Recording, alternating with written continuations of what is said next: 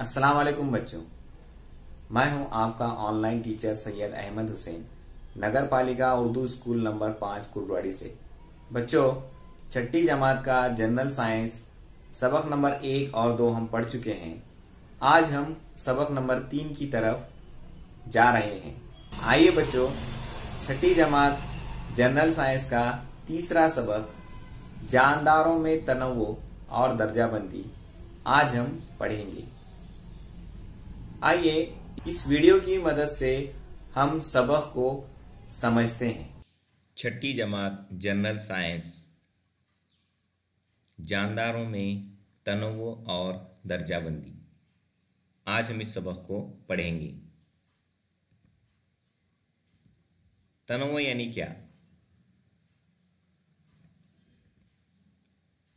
तनव यानी किस्म किस्म का होना, मुख्तलिफ़ रंगों का होना, जानदारों का मुख्तलिफ़ होना, किस्म किस्म का होना, इसे तनवो कहते हैं।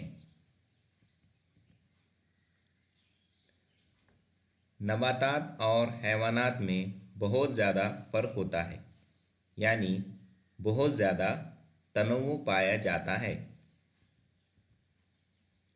इनकी जिस्मानी साख्त रंग और जसामत में भी फ़र्क पाया जाता है।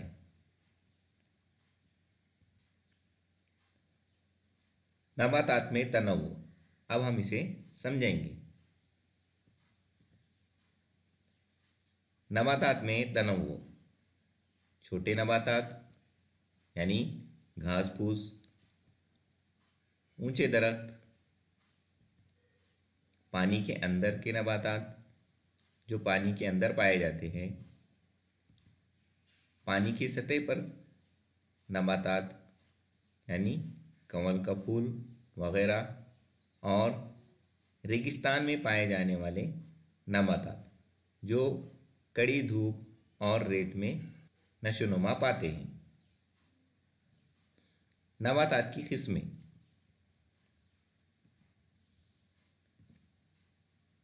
नबातात की किस्में। नबातात की पहली किस्म है खुद कफील नबातात गैर कफील नबातात और किरम खोर नबातात आइए अब हम इन किस्मों को समझते हैं। खुद कफील नबातात जो नबातात सूरज की रोशनी और इनमें मौजूद गज़रे की मदद से अपनी गज़ा खुद तैयार करते हैं। उन्हें खुद कफील नबातात कहते हैं। खुद कफील नबातात की मिसालें हैं जासवंदी, अनार, सदाबहार वगैरह।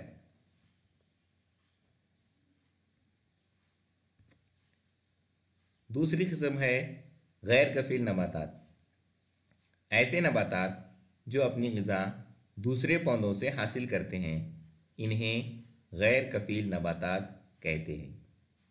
इनकी मिसालें हैं फुपुंद ताग अमरबेल वगैरह।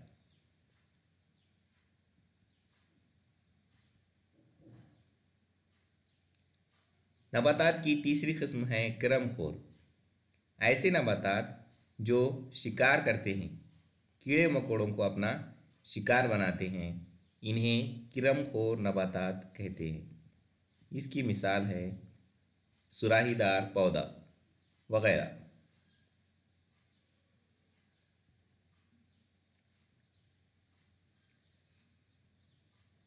नबातात की जमात बंदी की ज़रूरत क्यों हुई? आइए इसे हम समझते हैं।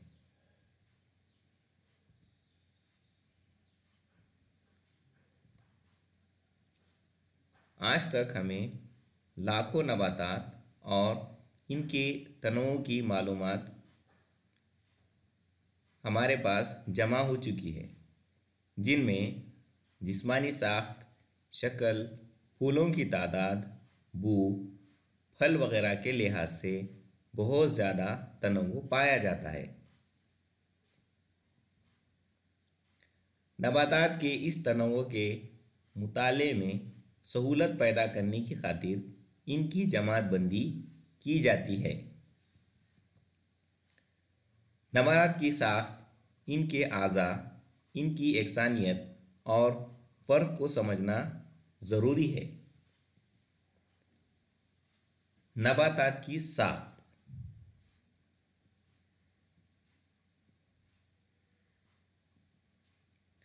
नबातात की साख्त इस तरह से है बच्चों। नबातात की साख्त इस तरह है। ज़मीन के नीचे का हिस्सा, ये हिस्सा जो कि ज़मीन के नीचे होता है। और दूसरा हिस्सा है ज़मीन के ऊपर का हिस्सा, यानी ये हिस्सा ज़मीन के ऊपर होता है जो हमें दिखाई देता है। ज़मीन के नीचे का हिस्सा, इसमें क्या शामिल है? ज़मीन के नीचे के हिस्से में जड़ होती है।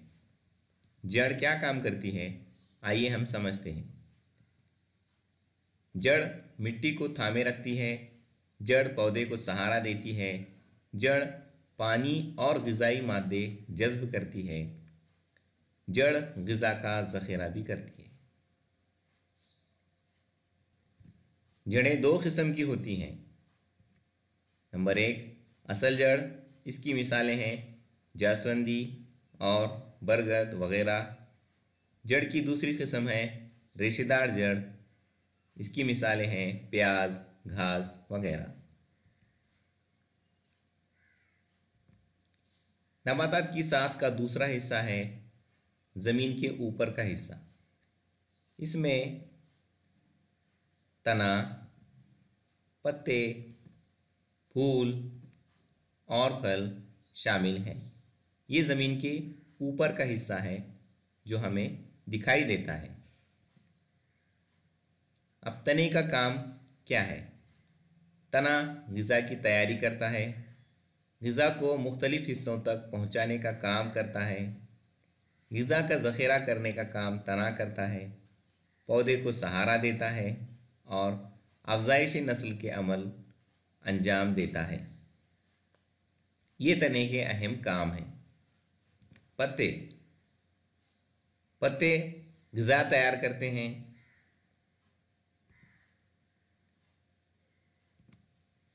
पत्तों की दो किस्में हैं। नंबर एक मुफरत पत्ते और मुरक्कब पत्ते। ये पत्तों की मुफरत किस्म है और ये पत्तों की मुरक्कब किस्म है। इस तरह के पत्तों को मुरक्कब पत्ते कहते हैं। फूल फूल मुख्तलिफ़ रंगों के होते हैं। फूलों में खुशबू होती है। फूल अफजाइश नस्ल का एक अहम हिस्सा है। फूलों की अपनी साख्त होती है, यानी फूलों की अपनी साख्त होती है। फूल के अलग अलग हिस्से होते हैं। अगला हिस्सा है फल।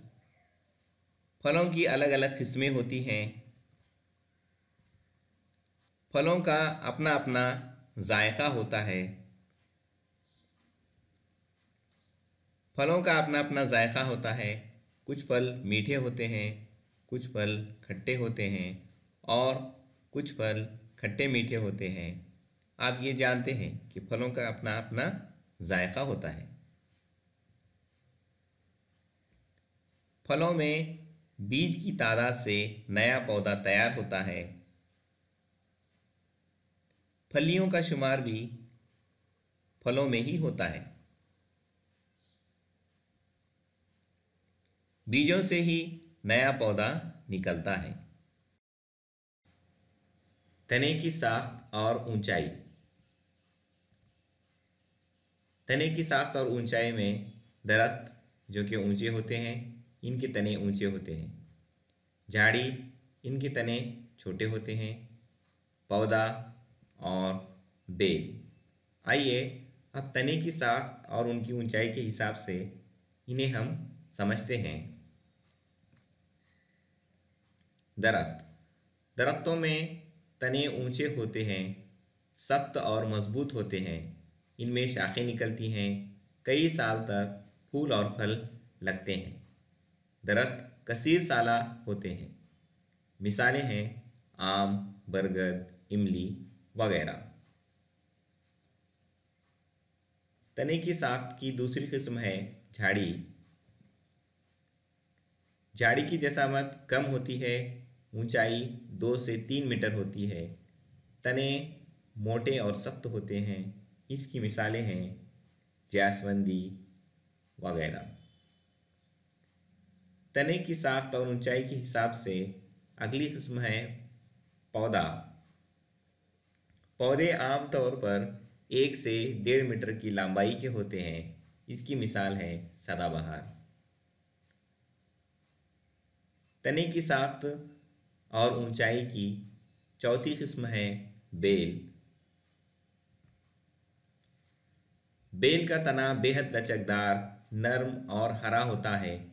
सहारे की मदद से इसकी नशोनुमा तेज़ी से होती है। कुछ बेल ज़मीन पर ही फैलती हैं। मिसालें हैं, तरबूज, अंगूर वगैरह। देखा बच्चों आपने? अब इस सबक का दूसरा हिस्सा, जानदारों में तनवो और दर्जाबंदी हम अगले हिस्से में पढ़ेंगे।